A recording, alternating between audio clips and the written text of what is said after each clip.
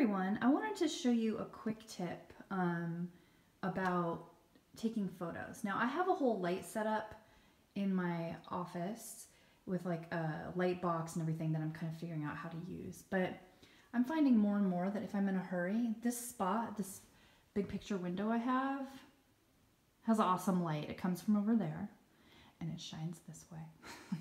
and so I am always like putting uh, mugs and glasses right here on this um, little windowsill and taking pictures there.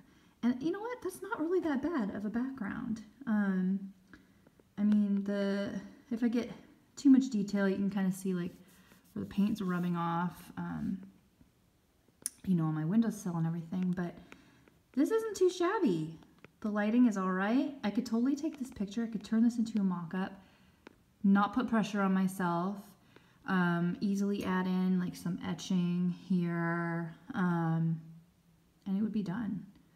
Totally easy. So I encourage you to just find a spot in your house where you could set up on those times when the baby isn't in your arms or the dog isn't running through, and you could just take a few snaps of some of your blanks and, and just start laying them out and then looking at like different angles you could have them. Um, sorry, I'm showing my hand and I have this terrible burn on my, my thumb.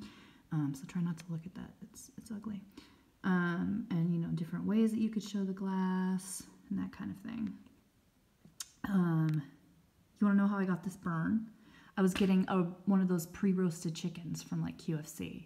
And you know the rotisserie chickens and they have them in like a big box by the front of the store and I reached for one in the back that looked particularly appealing and the I stuck my hand in there and I touched the top of the inside of that thing where there's like a heat lamp and I totally burned my finger right there in this door and it looks terrible.